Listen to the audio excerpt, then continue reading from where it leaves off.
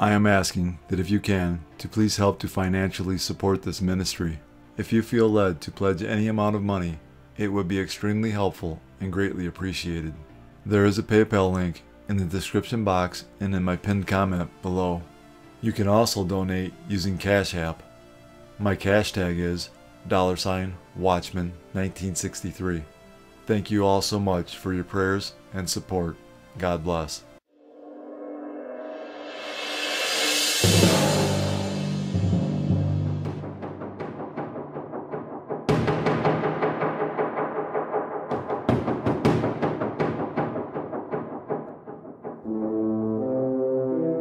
Welcome to the Watchman YouTube channel. This channel is all about world news and Bible prophecy, pointing to the soon return of our Lord and Savior, Jesus Christ. Jesus said, as a sign of his coming and the end of the age, there would be an increase in deception, false Christs who will deceive many, wars and rumors of wars, nation against nation and kingdom against kingdom, famines, pestilences, earthquakes, Christian persecution, apostasy, false prophets, and lawlessness causing the love of many to grow cold. Jesus said all of these signs would come like birth pains. Jesus was likening last day's events to a woman in labor. As the labor progresses, the pains increase in both frequency and intensity until the baby finally comes. As we get closer to Jesus' return, all the signs he gave us as a sign of his coming and the end of the age will become more frequent and more intense. All of these signs are manifesting around the world in our time. Jesus prophesied in Matthew 24:10 as a sign of his coming and the end of the age that there would be a falling away from the truth in the Bible. As a result of many falling away, Jesus prophesied in verse 11 false prophets would come along and deceive many. Many of these false prophets will be in the ministry for financial gain as we read in 2 Peter 2 1 through 3.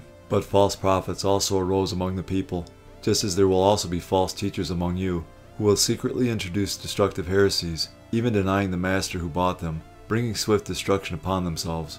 Many will follow their sensuality, and because of them the way of the truth will be maligned.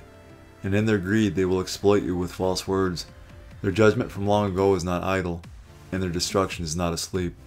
This is exactly what we are seeing in the Christian church today.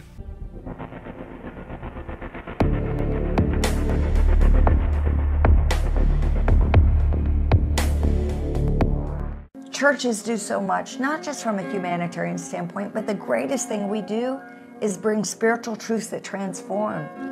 What we do as ministers of the gospel is so vitally important because every single day we are a hospital to the sick, not necessarily the physically sick, though we also help take care of that. Many churches have health centers, etc. But we are a hospital for those who are soul sick, those who are spiritually sick, because we bring forth the Word of God and we bring forth truth that gets deep down in your soul in the way you think and you feel about things. Maybe you'd like to sow a $91 seed, and that's just putting your faith with Psalm 91 or maybe $9 or whatever God tells you to do. If you want to be a blessing to Paula White Ministry or City of Destiny, you can go to the website at paulawhite.org. We would love for you to help us and stand with us. We'd love for you to stand with your church. Don't forget, now is not the time to abandon your covenant with God. It's the time that you go deeper. Stand with your pastor. Colossians 2:8 Beware lest anyone cheat you through philosophy and empty deceit, according to the tradition of men, according to the basic principles of the world, and not according to Christ.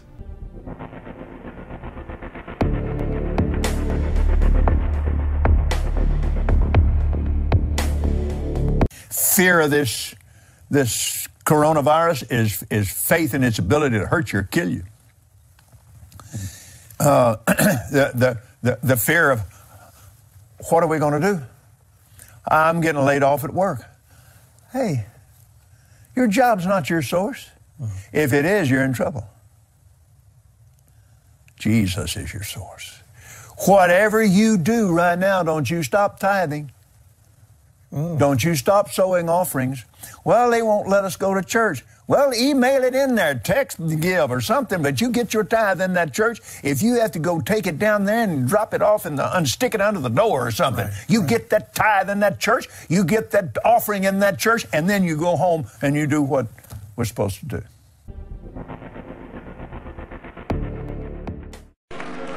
Now I will. I, I, will go ahead and tell you this. Now, don't don't get disturbed because he said three billionaires. Now, I don't I don't want you to get disturbed because uh, since I'm one of them, it'll only leave two more. no, now wait a minute. Now wait a minute. Of course, I'm saying this with a smile on my face, but I'm serious as I can be. But now, I'm not one of those three since I already am one. I've already appropriated that. I've been walking in that a long time.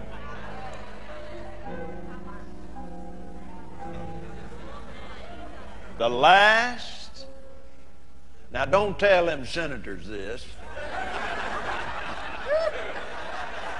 The last time we totaled it up, which has been some time ago, this ministry, since it's been in operation 41 years this month, the last, the, the, the last accounting of this has been, this has been uh, two, three years ago, so there would probably be at least 150 million more added to this.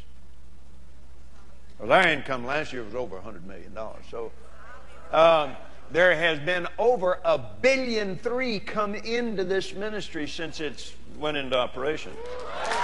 So, Amen. I'm not a billionaire because there's been over a billion dollars come through this ministry. I am a billionaire because the assignment that the Lord gave me, He said, I want you to begin to confess the billion flow. Because as long as you were in the million flow, you were winning millions. You go into the billion flow, you win billions. So I said, Yes, sir, I believe I receive it. That's been a number of years ago, and I have confessed that I am in the billion flow and that I am a billionaire in the kingdom of God. 1 Timothy 6 3 through 5. If anyone teaches otherwise, and does not consent to wholesome words, even the words of our Lord Jesus Christ, and to the doctrine which accords with godliness, he is proud, knowing nothing, but is obsessed with disputes and arguments over words, from which come envy strife, reviling, evil suspicions, useless wranglings of men of corrupt minds and destitute of the truth, who suppose that godliness is a means of gain. From such withdraw yourself. Instead of stressing the importance of wealth, the Bible warns against pursuing it. Jesus said this in Matthew 6 19 through 21. Do not lay up for yourselves treasures on earth, where moth and rust destroy and where thieves break in and steal, but lay up for yourselves treasures in heaven where neither moth nor rust destroys, and where thieves do not break in and steal. For where your treasure is, there your heart will be also.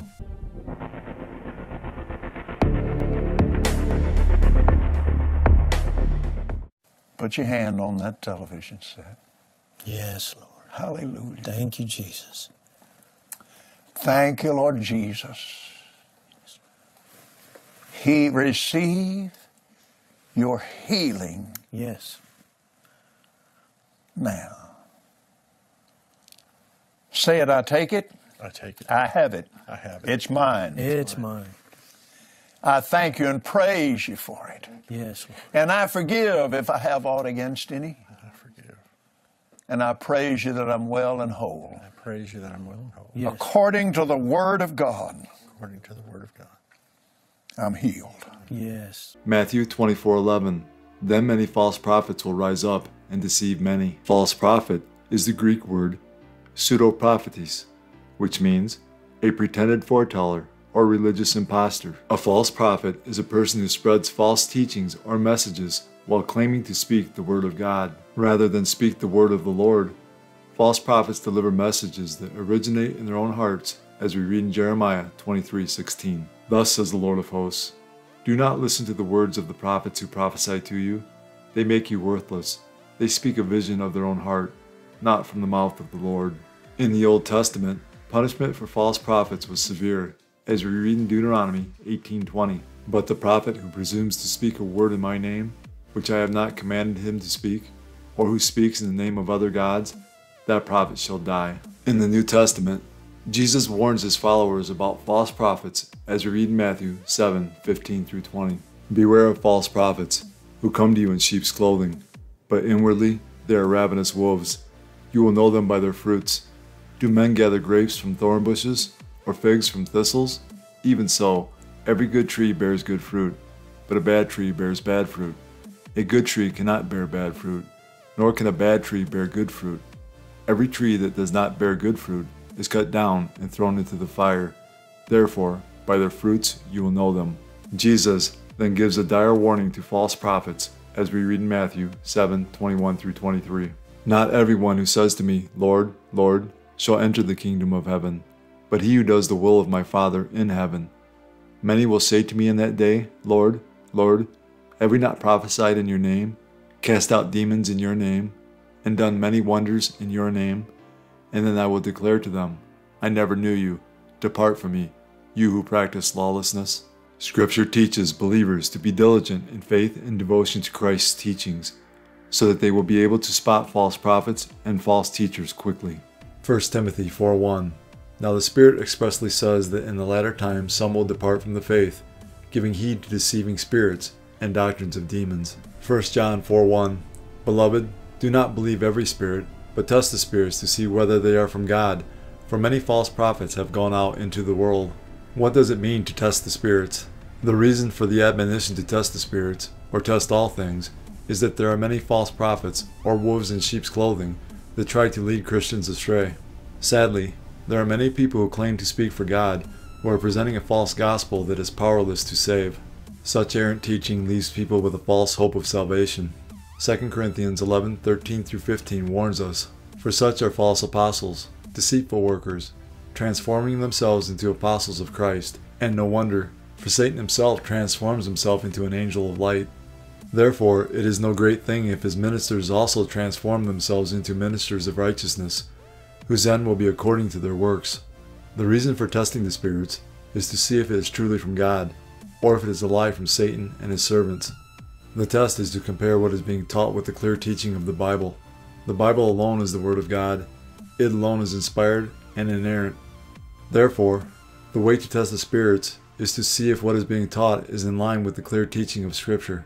In Acts 17 10 and 11, the Berean Jews were commended because after they heard the teachings of Paul and Silas, they examined the Scriptures daily to see if these things were so. The Bereans were called noble for doing so. Testing the spirits means that one must know how to examine the Scriptures. Rather than accept every teaching, discerning Christians diligently study the Scriptures. Then they know what the Bible says and therefore can test all things and hold fast to what is true. In order to do this, a Christian must be diligent to present yourself approved to God, a worker who does not need to be ashamed, rightly dividing the word of truth. The word of God is to be a lamp and a light to our path. We must let its light shine on the teachings and doctrines of the day. The Bible alone is the standard by which all truth must be judged. 2 Timothy 3:16 and 17. All scripture is given by inspiration of God and is profitable for doctrine, for reproof, for correction, for instruction in righteousness, that the man of God may be complete, thoroughly equipped for every good work. John 15, 18 through 20. If the world hates you, you know that it hated me before it hated you. If you were of the world, the world would love its own. Yet because you are not of the world, but I chose you out of the world, therefore the world hates you. Remember the word that I said to you A servant is not greater than his master. If they persecuted me, they will also persecute you.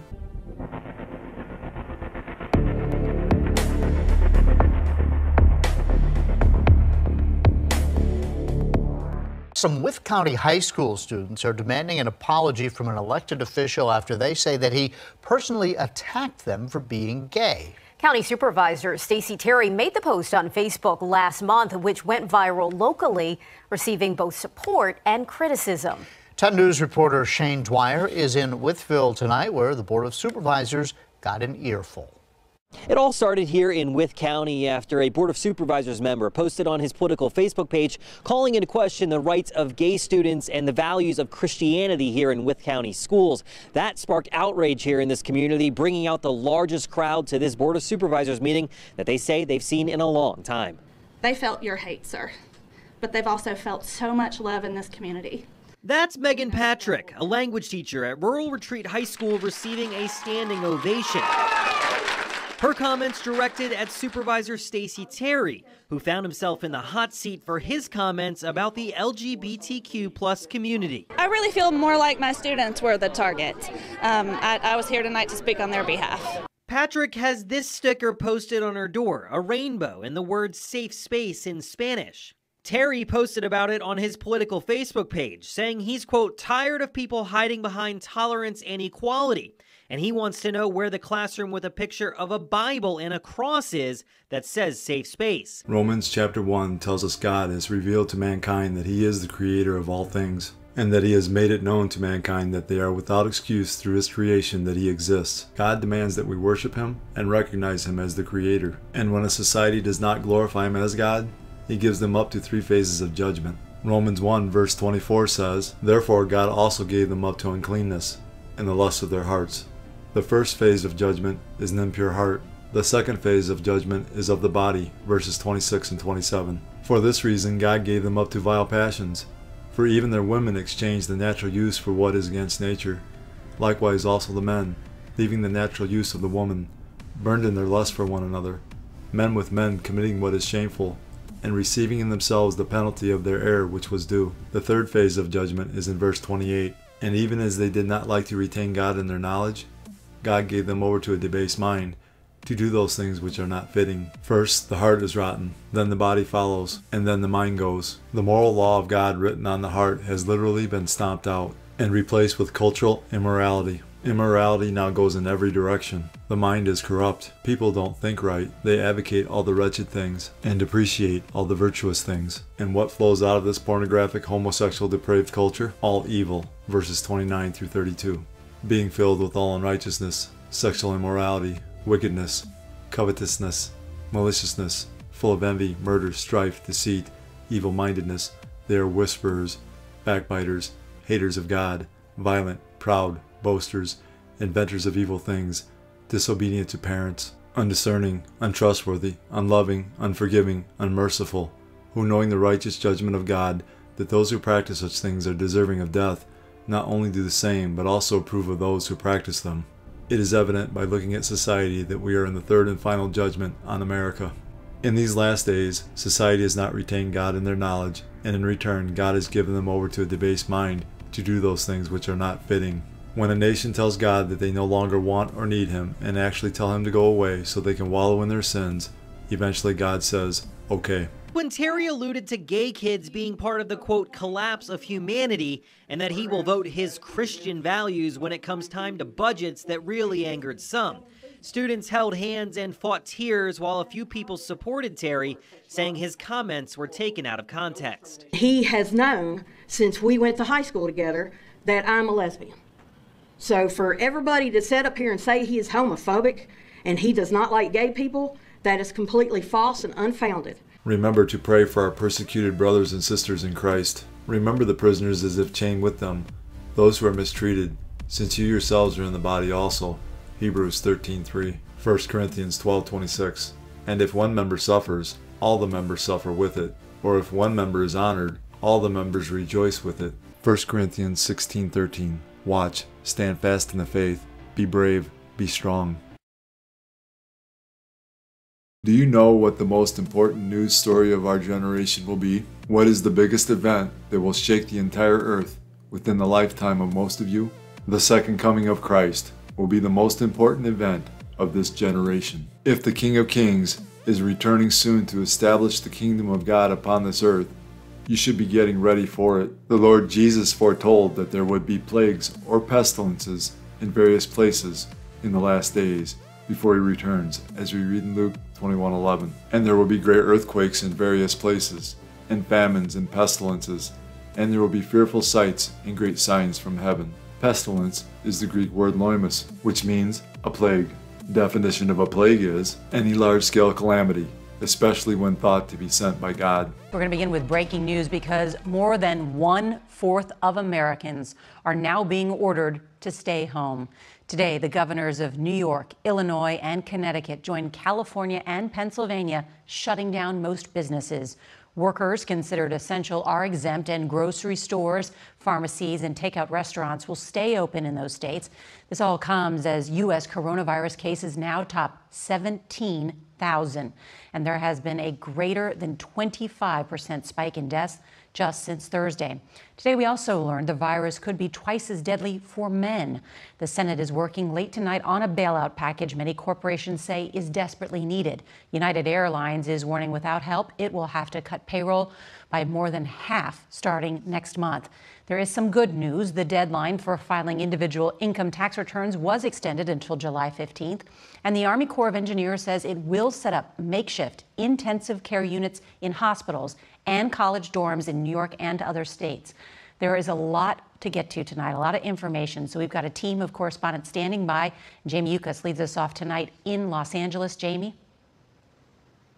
Nora, the measures enacted in New York and here in California have now been adopted in three other states. They're mandating nearly every worker stay home. And businesses like that spa, the furniture store behind me, and this salon that's all locked up, they're all now closed. It's all an attempt to slow the spread of coronavirus.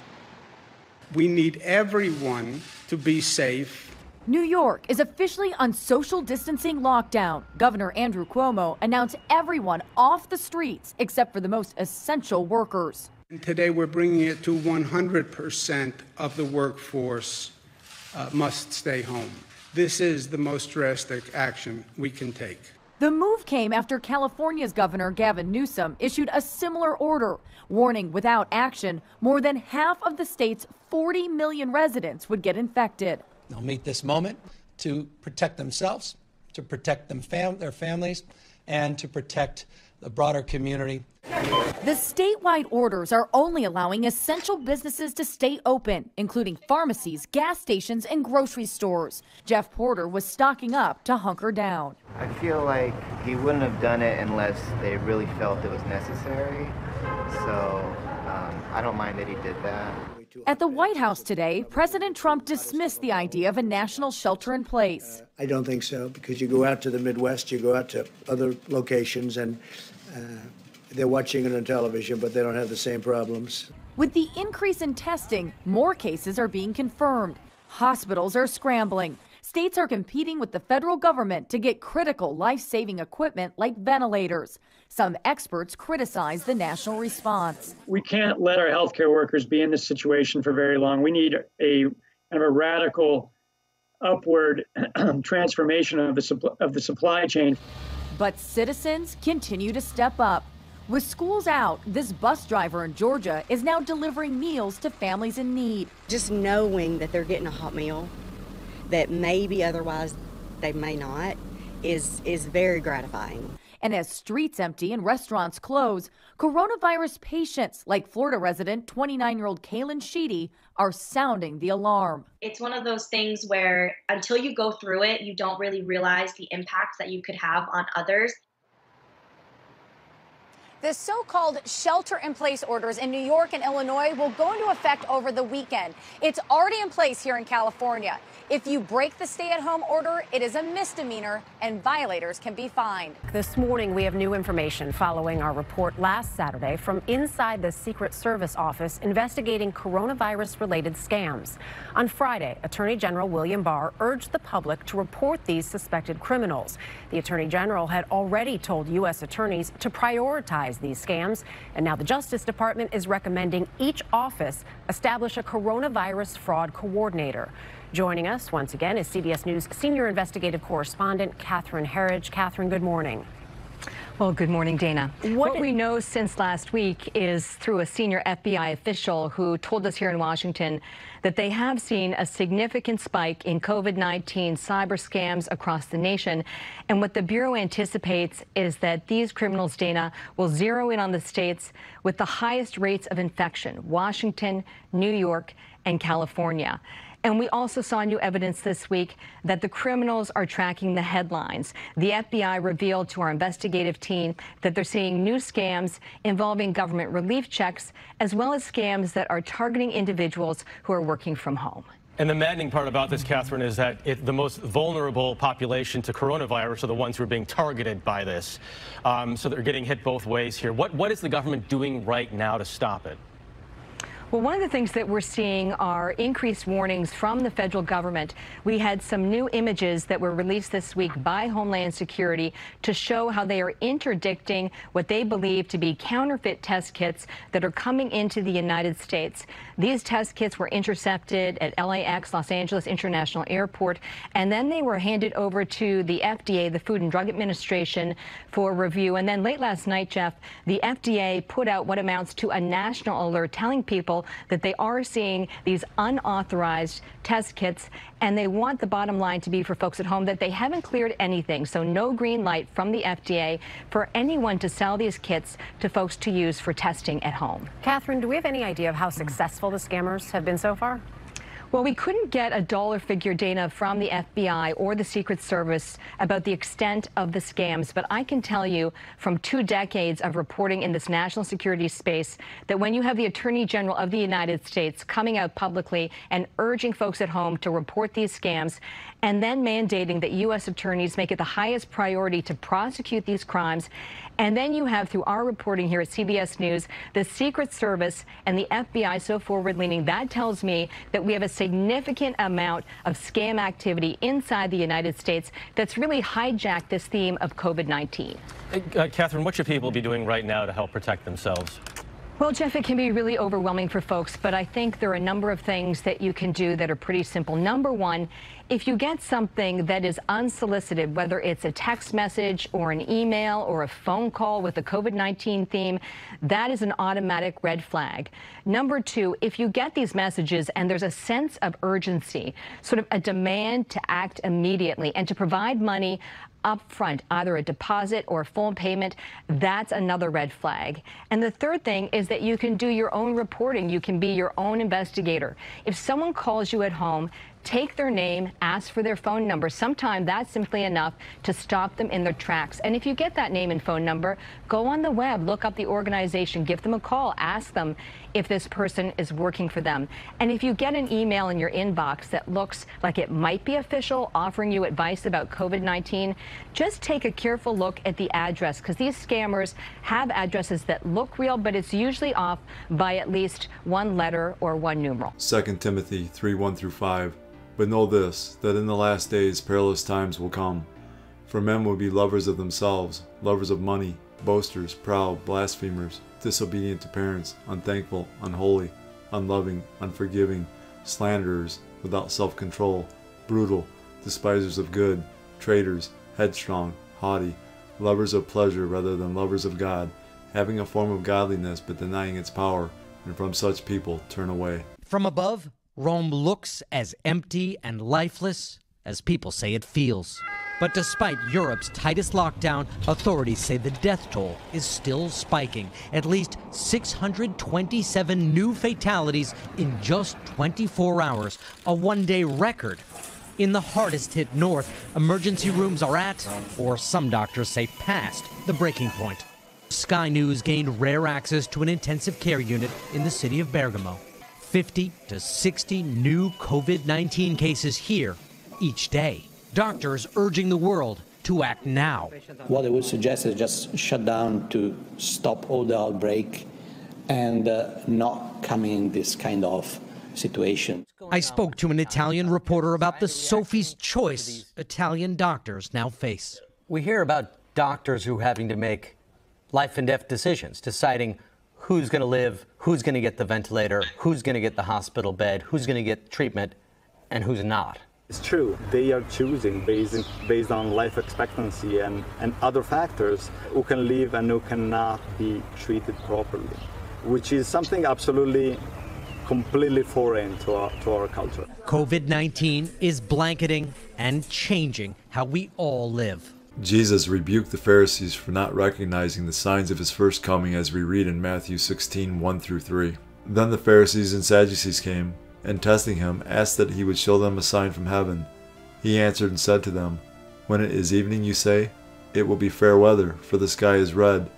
And in the morning, it will be foul weather today, for the sky is red and threatening. Hypocrites, you know how to discern the face of the sky, but you cannot discern the signs of the times. The religious leaders of Jesus' day had full knowledge of the prophecies of the Messiah. Yet these religious leaders ignored the signs and still rejected him. If the religious leaders of Jesus' day missed the signs of Jesus' first coming, how much more important is it for us today to pay close attention to the signs of Jesus' second coming? One day, Jesus is coming. You may be at church, you may be at work, you may be asleep. God grant that you will be ready when He makes His personal appearance. My God, what if His appearance occurs on a Sunday morning? My prophetic word to you this morning is get ready! Get ready!